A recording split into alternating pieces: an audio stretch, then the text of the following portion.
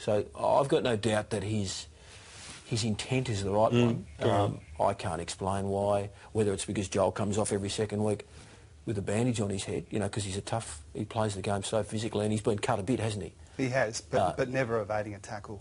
Yeah. And, and I think the other unfortunate thing that happens when this sort of misinformation is spread is that people who don't really know or haven't seen it just assume that, oh, he ducks his head into tackles. And it couldn't be further from the truth. Um, but again, not enough people will listen to this and say, well, no, he's right, he gets concussed all the time because he shrugs tackles.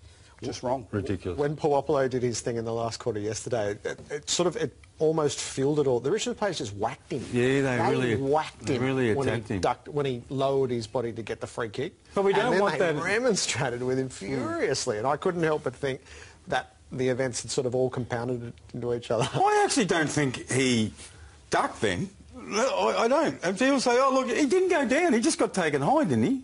It's a free kick every day of the week. Of course it is. The irony, one of the players there who's remonstrating with him is not bad at it himself. But Who's, oh, I, couldn't, I didn't see him. Grimesy and who? I don't know who it was. Um, well, good luck against each other, and that's what Sunday twilight, and we'll reflect on it all next Monday night.